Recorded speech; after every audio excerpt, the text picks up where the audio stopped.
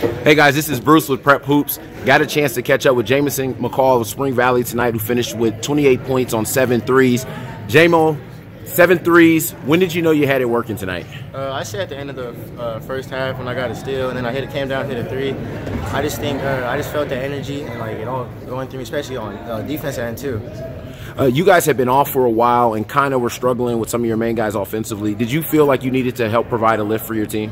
Yeah, I can notice uh, my other guys were off, and uh, it just felt good to, uh, to, step up for my team and help my team win the game.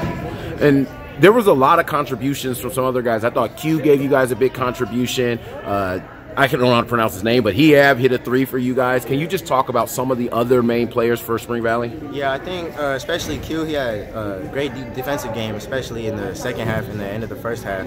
Uh, he was just helping us a lot out there, and then Deshaun was getting a lot of boards and uh, just really uh, uh, giving us a lift on the defensive end too. Well, that's perfect, man. Get off your feet, get some rest. Way to shoot it out there tonight. Thank you.